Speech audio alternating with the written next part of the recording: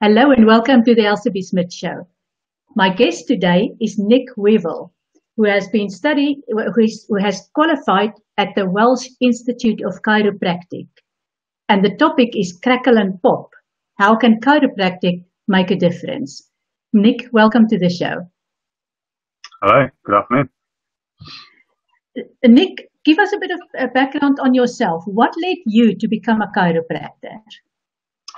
I have always been interested in um, uh, human biology and anatomy, and when I was at uh, school, I used to uh, catch a bus every morning with a gentleman that worked in a microbiology lab, and I thought I'd mm-hmm. start with the micro labs, and I went and worked there for three months, and um, found that it wasn't the most enjoyable looking down microscopes all day. So I started traveling around different departments in the hospital, and I worked in the mm-hmm. stroke rehabilitation unit, and I enjoyed that hands-on with the patients and that one-to-one that you get very much with the patients. And um, I then went on and worked in a school with some handicapped children in the physio department.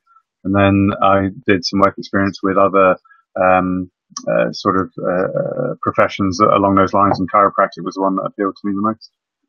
Mm-hmm. Well, I'm a total convert because I fell off my head from a galloping horse and ended up work, walking with a cane. And every time I went for a chiropractic treatment, I had to have something like eight of them over four weeks. I felt mm-hmm. just immense, immense, immense relief. So I'm going to ask you, I don't even want to tell people what you do. I'm going to ask you, what is it that a chiropractor does that brings such relief?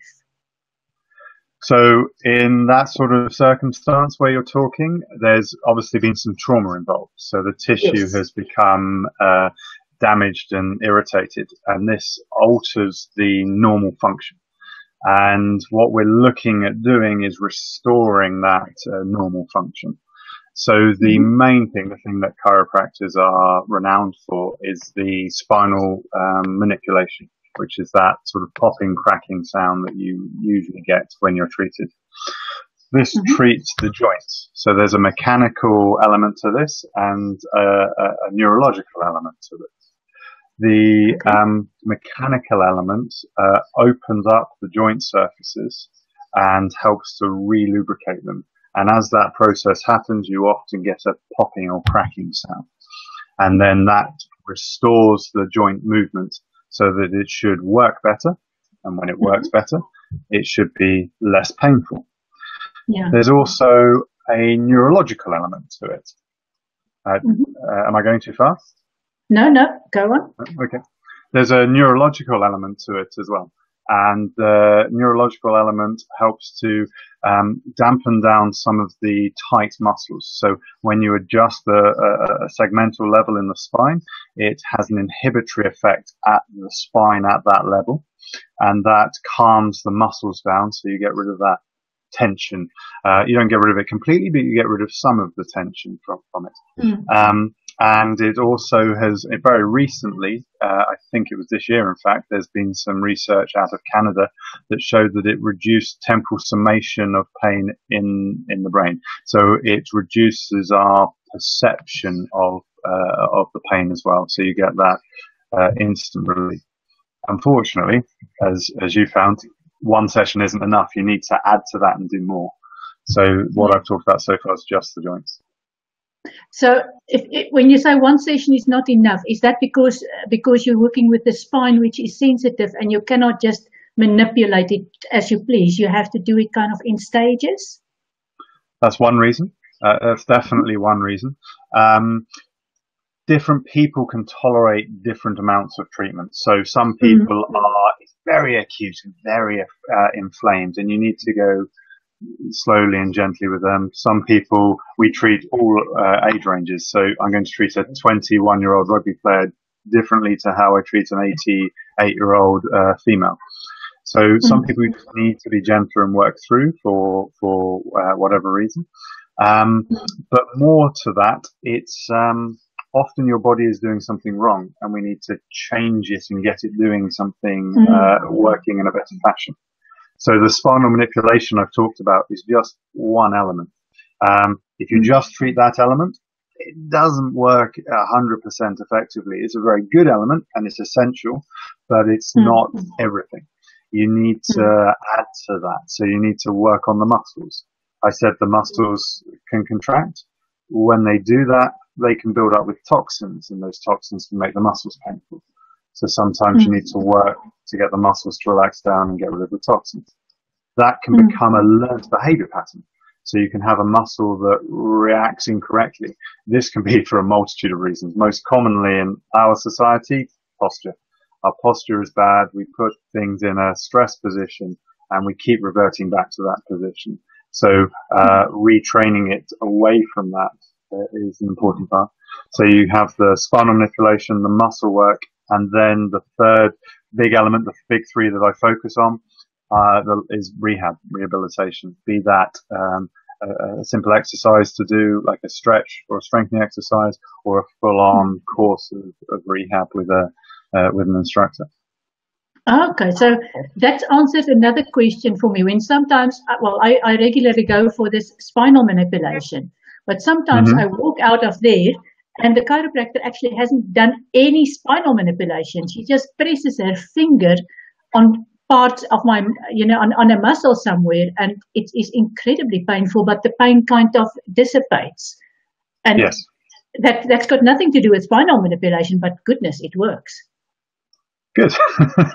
so yeah, that's called trigger point therapy. So that's uh-huh. aimed at the aimed at the muscles, getting the muscle tension down. So your initial injury, um, there was trauma involved. So there would have been mm. torn mm-hmm. tissue, there would have been swelling. Um, yeah. That would have been painful and would have restricted your movement. But if, mm. um, so say for example, uh, I'm at my computer, if I use my mouse and I hitch my shoulder, all mm-hmm. the time this muscle is tight. And then that's going to restrict everything on that side of my neck. But the, the thing that's causing that is that muscle tightening. So I want mm. to change that behavior, get it to relax down. As mm. the chiropractor, you're limited on how much you can do that. A lot of that relies on the patient's um, awareness and compliance. But I can work mm. on that muscle. I can trigger point that muscle to get it to relax. And if you, the earlier you get in there, the better you can stop those things developing onto the, the next thing and the next thing. Well, I'm really pleased that I managed to, to get chiropractic treatment because um, when I had that really bad injury, uh, it reminded me of my dad going for two or three back operations and it, it just made things worse. And I just did not want to go that route. So that really worked for me. Good, I'm glad. now, uh, from what I can gather, there are different approaches to, to chiropractic. I've once um, observed this, uh, what is called McTimoney, and I yep. thought to myself, well, I'm, I'm sure there are people who really benefit from that, but for me, it, it, it didn't look like that was really, you know, effective. But then, like somebody said, I like a bit of rough. So, are there are there different approaches to chiropractic? Yes, so the uh, two main ones are diversified, which is what we've talked about so far, um, mm-hmm. which focuses on optimizing that health. Um, and with the spinal side of it, you look at spinal manipulation where you get that audible crack. Um, yes. uh, and then you've got the muscle work and rehab. And then on the other side, you've got the McTimoney uh, chiropractic. Mm-hmm. This is much, much gentler. Um, and in terms of uh, whether it works, it comes down, it's a very personal thing. Uh, so uh, you have to, as a clinician, try and uh, evaluate and judge each patient, uh, and then uh, together decide on a course of action that you move forwards with, and then review it. Um, and mm-hmm. for some people, uh, their uh, way of their preferred way is, is that gentler way. So with a McTimoney chiropractic, the contact on the skin is much lighter, but they use a lot more speed um, uh, uh on it. Um, and again, some people prefer that uh, that firmer side of it with the manipulation side of it. I'm like yourself. I prefer that. Uh, uh, I feel I get more benefit out of that mechanical uh, mm-hmm. aspect of, of, really getting the joints moving and loosening it up. But I, I know plenty of people that also get benefit from the from that McTimoney gentler side of it. Mm-hmm. Um, and okay, I'll, I'll ask the question anyway. Um, there, there's a chiropractor who is also a great philosopher, and he he likes to uh, refer to he likes to refer to chiropractic as aligning the spine with the divine. Now he's okay. he's a big he's a big bold brash American. So is there a, a spiritual component to this chiropractic stuff as well? Or could there not be? not in the way that I practice. Um, mm-hmm. I practice on um, a very sort of uh, mechanistic aspect of it um, with that neurological component. Um, with overall health, I believe there's much more to overall health than just um, than, than, than, just the physical side of it. Uh, so I know mm. that there are plenty of people that do look at that uh, side of it as well. Uh, in mm. America, especially, you get these different philosophies that occur. Uh, so you get these very mm. evidence-based practices, and you get these um, very uh, uh, more open-minded, holistic aspects of it. In Britain, we're encouraged to look more down a um, uh, evidence-based route. So we're wanting to be able to justify what we can do um, with, with mm. and back it up with some some research. So with that, aligning with the divine, uh, if there is research on that, I I haven't read it, but that doesn't mean it doesn't exist. Um, mm-hmm. But uh, we do talk about well-being uh, in the person. So in in a uh, in a spiritual person, I think that then is a big part of their of their well-being and their healing. Mm-hmm. Does that answer your question?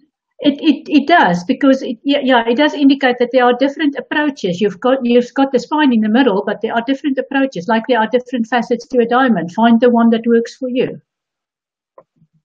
Nice.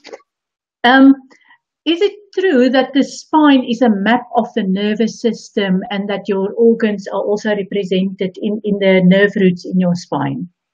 I'm not sure if I described this correctly, but I've seen maps of the spine with all sorts of organs and, and points attached to it in, in, in, in diagrams. Yes, interesting. Um, I've never thought of it uh, in that respect, but I see exactly where you're coming from. Um, so the whole body is a feedback loop and the nerves are modulating uh, uh, uh, and are the um, pathways for that feedback to take place. Um, so mm. problems and interruptions with that nerve, with the nerves, can interrupt that feedback that occurs. So mm. um, you have um, uh, uh, afferent and efferent signals, uh, signals coming, sorry, going and coming from. So there mm-hmm. are nerves coming from the brain through the spinal cord out through the nerve root to the organ, and then okay. there are nerves, sensory nerves coming back the other way. Um, yeah. So the loop can be affected in either way. Mm-hmm. So, sorry, carry on. No, that's fine. I was listening. I, w- I was just going to give an example. So, uh, with the internal organs, so the heart, lungs, and liver, um, we call that uh, a viscerosomatic. Um, so, the one that everybody knows is your heart can refer down your left arm. Um, mm-hmm. Your gallbladder, for example, can refer underneath your shoulder blade. So, mm-hmm. if I've got somebody coming in with pain underneath their shoulder blade, in that initial assessment, you don't just jump to, oh, it's a shoulder problem, it's a rib problem, it's a muscle problem down there. You have to think about that viscerosomatic element. I can't treat a gallbladder problem, but uh, I should hopefully be, it should be on my list when I'm, someone's coming in with a problem in that area. Mm-hmm. Okay. Now, you, you've got a chiropractic and you've got osteopaths. I've never been to yep. an osteopath, but from what I could gather, it's it's very similar. It, what is the difference? The difference is mostly historical. Um, when both professions were set up, the uh, the, the, our knowledge was much less. So we had the osteopaths that believed that the blood flow around the body was the most important thing, and we had the mm-hmm. chiropractors that believed that uninterrupted nerve impulses were the most important thing. Um, mm. And that uh, to, to get the body in perfect health, you had to focus on those. In reality, they're both important, and you need to uh, work on work on both of them. Uh, over the years, as our knowledge has developed, um, the two have become much much more aligned, and now the difference is more one of practicality um, in terms of the techniques we have uh, learnt are uh, slightly different. So mm-hmm. traditionally, chiropractors use what's called a short lever technique, and the osteopaths will use a longer lever technique. Um, mm-hmm. I mostly use chiropractic maneuvers, but I do use, I have learned some osteopathic techniques that I use and goes back to what I said earlier. Everybody's mm-hmm. different and you need to work and find that way with that, with that patient. I don't do the same thing for every patient. So it's working around the problem and, uh, uh, and working out what's best for the individual. Mm-hmm. So working out what's best for the individual, you don't use only chiropractic. Um, from what I uh, can gather, you also use stuff like acupuncture. Now, I must tell you, when I when I had this injury, I went to a physiotherapist who did acupuncture, which I thought yes. was, in, in hindsight, thought I thought was totally inappropriate because the, the, the, the injury was on my spine. And she, she used mm-hmm. acupuncture. Mm-hmm. She, she might as well do, have used birth control pills because it had absolutely no impact at all. But, but you do uh, combine um, chiropractic with acupuncture. Why? How do you do it? And why do you do it? So um, at Durham House, we have a um, multidisciplinary clinic. We've got lots of people with different aspects. It's not just uh, chiropractors. Mm-hmm. We have acupuncturists there uh, that have yeah. the traditional Chinese medicine side of it. But what you're talking about, I would describe as dry needling. Um, dry needling is a sort of uh, westernized version of acupuncture. So we've taken the, the, acupuncture, we've taken um, uh, the Western research as well with a lot of Travell and Simons' work with the muscle trigger points. And mm-hmm. um, we found that introducing acupuncture needles into those muscle trigger points um, just like where you were talking about having the muscle squeezed, that trigger point, you can introduce a needle into many of those, and that can have the same effect. Um, and again, sometimes this works very well for people. Uh, sometimes it doesn't work very well for people. Um, in uh, I do the dry needling side of it. Uh, um, I don't do it for every patient. I probably do it on. I haven't audited this, but probably about 30% of people. Mm-hmm. Um, sometimes with a very acute patient. So if somebody has really hurt themselves very badly and they've done it very recently, um, sometimes I'll just use the acupuncture, the dry needling um, early on just to try and create some relaxation. Um, mm, I'm not mm, expecting okay. big results at that point. Sometimes it works well. Sometimes it has no effect at all. But I would explain that to the patient. I talk through the options and I mm. explain that as part of a treatment plan. Uh, and yeah, so hopefully yeah. you're then able to understand the expectations as, as it progresses. Okay, so it's more about relaxing and not about undoing the damage then. It, in a very acute patient, yes. Um, sometimes, uh, so for example, if I have a piriformis syndrome, which is a tight muscle in the glutes, in the buttock region, that sits quite a way under the surface of the skin. So if I'm pushing on the top, and I'm trying to affect something down here, I've got to push real hard to get to that point. Whereas if I use a needle, I can just drop the needle straight down to it. Um, mm. And um, in some patients, they respond better to that than they do to the than they do to the needling. Uh, sorry, than they do to the trigger points. Um, yeah, but yeah. you and this is why you review it because not everybody is responding to everything. So you you try something, you expect a certain outcome. Uh, if you don't get that outcome, you review it and go, okay, first of all, have we got the diagnosis right? If you still think the answer, if you still think you have, then you try a different way of treating it. Mm-hmm. And the same technique might work perfectly for the next person. It can do, yes, yeah. Mm-hmm.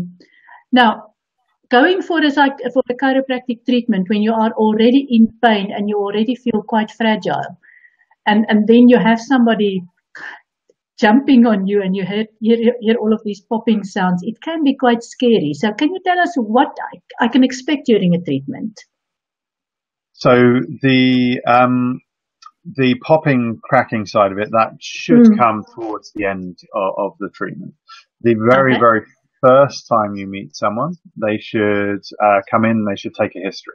So, they should ask you questions about the, any particular injuries you have at the moment um, mm. and um, uh, any relevant medical history you've had in the past. So that might be mm. physical traumas, it might be previous surgeries. Then you go on mm. and do an examination, and the uh, I'm um, uh, summarizing, but the main three parts of the mm. examination we do are orthopedic for the nerve, muscle tests for the muscles, and you're looking for painful muscles, dysfunctional muscles. So is it too tight? Is it too weak? Uh, and nerve tests as well. So is the nerve uh, working correctly? Is, is there a problem you need to focus on that? And then you should, if you can find, that's the area we treat, neuromuscular skeletal. So if you can find it in there, I should be able to explain it to you. If mm. it's something I can treat appropriately, then I'll give you the treatment options available. And if you want to, then we'll go ahead with it. Uh, if it's not something I can treat, then we sit down and talk about where you look from there. Uh, at Durham House, we might be able to send you to someone else uh, in in the uh, in the clinic. Uh, it might be something that that needs referral out of the clinic. Then mm. from there, if you're happy and you understand everything I've said, then we will go ahead and treat it. The treatment mm. will focus primarily, uh, because it's neuromuscular skeletal, primarily on treatment of the joint, the muscle, or, or around the nerve. So mm. the popping, cracking side of it, uh, we would take a contact with our hands over the joints, and that's the short lever technique that we talked about with chiropractors before. You're contacting over yeah. the joints, and then you're putting mm. a thrust through the joints. This is a manual movement. It's very quick, and the amplitude, the movement of it should be very low, and that, as mm. I said before, should open up the joint, re-lubricating it.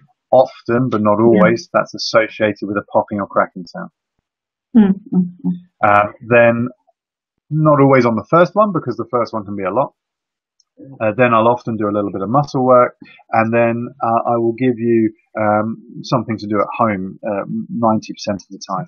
Uh, I try not to do too much in the first session because there's a lot of input for the patient. So I, will hmm. generally only give them one thing. Most of the time that's icing it. It might be as simple as walking, or it might be a specific exercise. Mm-hmm. I actually should have mentioned right at the beginning of the show that none of nothing that gets said here overrides what your general practitioner would, would advise. This is uh, additional to that if that is your choice. Um, can yes. I ask? Yeah, can I ask what typical conditions do you treat? So the um, uh, the main ones we treat uh, as chiropractors are those musculoskeletal uh, conditions and, and, nerve problems. So um, uh, uh, most commonly, what we're renowned for is low back problems, and mm-hmm. um, mm-hmm. we, we, treat um, low back problems regularly. so this can be a, a, tight joint, it can be a loose joint, it, it can be um, a, a, tight muscle, or it can be a, a trapped nerve. Um, what you're trying to do, first of all, in your diagnosis is isolate which one of those is most likely. And you'll mm-hmm. use tests. Sometimes you'll use imaging to I- isolate that. Uh, then you'll go about treating that. That can occur anywhere in the spine. So through the thoracic into the neck. Um, the, the, um, uh, we can then treat other areas of the body. So we can treat shoulders, uh, elbows, wrists, hips, knees, um, ankles um, and uh, try and get the whole body working better. Mm. What we do most though is the spinal aspect of it. And and that would be stuff like sciatica. Sciatica is a really common one. So uh, mm-hmm. there are several causes for sciatica. So sciatica, the sciatica just means leg pain from irritation of the sciatic nerve. So it's not necessarily uh, very descriptive in and of itself. Um, mm. So you need to try and find out why you have got uh, sciatic pain. So there are hmm. five mm. nerve roots in the spine uh, that come together in the buttock to make the sciatic nerve. So it, is it mm. compression of one of those five uh, as it leaves the oh. spine? Is that happening from a joint? Is it happening from swelling? Is it happening from a disc bulge? Then when it comes together in the buttock, it can be pinched by that nerve, the piriformis that I was talking about. So is it a muscle catching on the sciatic nerve? Um, uh, there are various other things as well, but commonly those are the most common ones by, by a long way. Once you mm-hmm. once you have a firm idea of which one it is, you focus your treatment at, at that specific one. Mm-hmm. And and you mentioned frozen shoulder as well. Uh, I don't. Uh, we, I, I, mentioned shoulder problems. Um, frozen oh, shoulder is one is one shoulder problem. Um, mm-hmm. See a lot of that. I think I've seen two people this week with frozen shoulders. Okay. So frozen shoulder, its other name is uh, adhesive capsulitis. Um, So this uh, has a uh, three phases to it. So you've got the freezing uh, phase, the thawing phase, uh, sorry, the freezing phase, the frozen phase, and the thawing phase. Um, mm. We can speed up the, the uh, recovery with the frozen shoulder. Um, mm. But uh, again, back to that diagnosis, frozen shoulder can look in the early stages very much like a, a, a subacromial impingement syndrome. So it's trying to isolate one from from the other, uh, and then treating it uh, appropriately. The, we can treat both of them, but the frozen shoulder, the prognosis is much longer. Uh, so it's explaining that to the patient. And with frozen shoulders, particularly, 95% of them, there or thereabouts, will get better whatever you do. It's just how quickly that gets better. And hmm. then what we can do is help speed up that process. So, so in a way, by, by doing these treatments, you, you stimulate the body's natural healing ability? Hopefully. Hopefully. Okay. So, um, the main premise of chiropractic when it started um, was to uh, help the body to heal, but with as little sort of uh, risk associated with it, an intervention as possible, so that you're encouraging the person, the individual, to be as healthy as possible. And when they're healthy, they can um, uh, they can uh, fight off infections better. They can uh, they, they can heal themselves uh, more efficiently uh, and then helping to maintain that um, uh, so that they can get so that they can stay as healthy as possible. Mm. Um, we're not specifically working on on immune systems or anything like that. It's it's uh, a case of getting the patient uh, once. Sorry, I've kind of skipped a bit. If a patient comes to you in pain, obviously you want to get them out of pain. Then you want to rehab it and reduce the risk of that coming back again but we also mm. look at that longer term maintenance aspect of it, which you'll often see mm. in sports people, which is I don't just want to be here. Um, uh, I, wa- uh, I want to be as good as I can be. I want to be optimal uh, and as healthy as possible. So we work with mm. them towards towards that. Mm-hmm. Are there areas that you do not necessarily treat, but there's kind of a myth that um, chiropractic could work for that? obviously it can't work for everything. What is it that you would tell people that you cannot treat? So historically, uh, and we're going back hundreds or so years, um, uh, historically chiropractors said that they could treat multiple, multiple uh, different things. As our mm. knowledge has progressed, um, we uh, we've isolated that down to that um, neuromuscular skeletal aspect of it. There are um, so the most sort of controversial area at the moment uh, is sort of asthma and infantile colic. I personally don't say I can treat those um, uh, mm. treat those issues at all. Uh, there have been some chiropractors in recent times that have said that they can treat it. Um, this then creates a debate uh, as to whether that's the case or not, um, uh, and the uh, the, the, concern is that it's then being misleading uh, to people if you're saying one thing and going ahead and, and you can't uh, justify that. And this goes back to what we were saying earlier with that evidence side of it. You want to be able to back that up with some evidence uh, to bring in.